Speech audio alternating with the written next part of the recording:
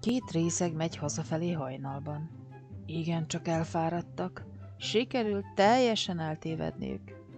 A buszok már nem járnak, és a pénzük is elfogyott, így taxit sem tudnak hívni. Ahogy ott tanakodnak, egyikük észreveszi, hogy pont a buszgarázs előtt áldogálnak. Figyelj csak!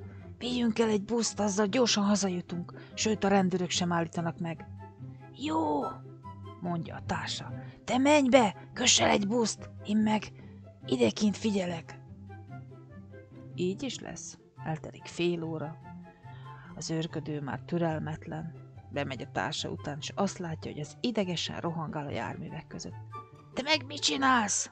kérdezi mérgesen. Az Istennek sem találok hetes buszt.